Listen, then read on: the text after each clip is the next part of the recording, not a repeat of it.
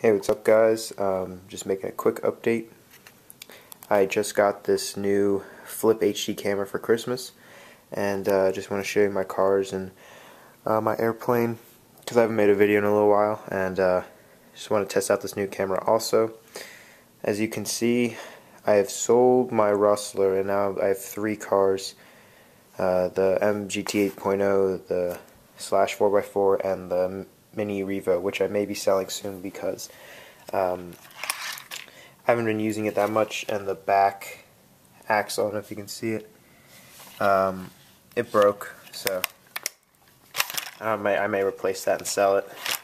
And I might be moving more towards planes because I've been flying my Super Cub a lot, which I have a, uh, a DX6i in it and I have upgraded Hitec servos which has made it a lot nicer and more controllable and agile for a three channel plane. Uh, maybe getting the Trojan with money I got for Christmas and uh, so just making a quick update and thanks for watching.